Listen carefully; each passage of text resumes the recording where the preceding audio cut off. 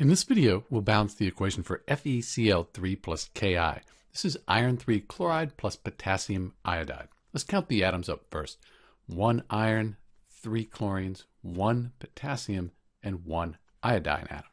On the product side, we have the iron, one of those.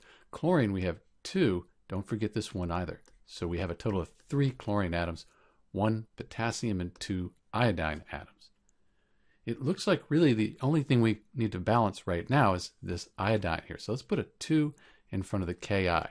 So now we have 2 times the 1 iodine. We have two iodine atoms. That's balanced, but 2 times the 1 for the potassium, now we have two potassiums. Let's put a 2 over here in front of the KCl.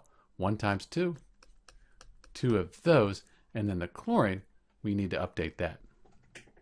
So for the chlorine, now we have the 2 plus the 2 times the 1 here, that'll give us a total of 4 chlorine atoms.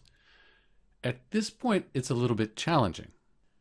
Probably what I would do is I would try to get this chlorine to an even number. So I put a 2 in front of the FeCl2. So now I have 1 times 2. That'll give me 2 iron atoms. And then 3 times the 2. That'll give me 6 chlorine atoms. So at least it's an even number. Let's balance the iron, see how that changes the chlorines.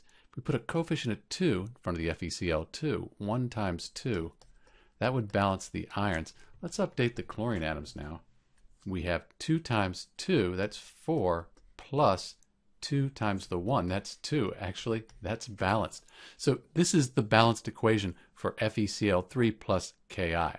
Often when you get an odd number like this, if you get it to an even number, that can make the balancing easier. Then sometimes things just work out.